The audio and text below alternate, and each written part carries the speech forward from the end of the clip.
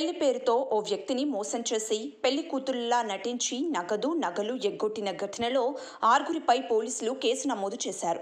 వివరాల్లోకి వెళ్తే కాకినాడ పెద్ద మార్కెట్ శిరీష అనే మహిళ కృష్ణమోహన్ను కలుసుకుంది.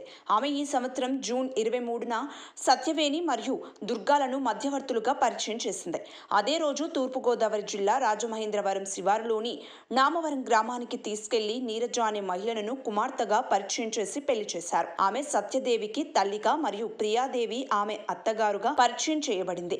నిశ్చితార్థం చేసుకోవాలని నిర్ణయించుకున్న తర్వాత కృష్ణమోహన్ అధికారిక ఖర్చుల కోసం సత్యాదేవి మరియు ప్రియాదేవికి రెండు లక్షల ఎనభై వేల చరివాణి మరియు బంగారు గొలుసును ఇచ్చాడు.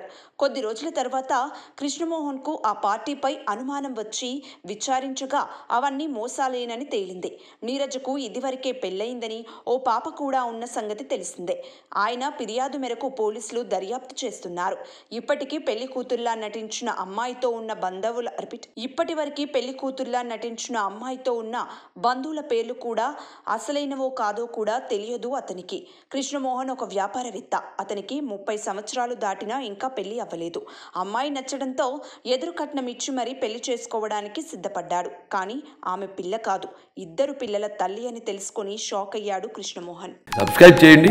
Subscribe to please do subscribe to subscribe to Please like, share, and subscribe to top Telugu TV Top Telugu TV. Top Telugu TV. top telugu tv top telugu tv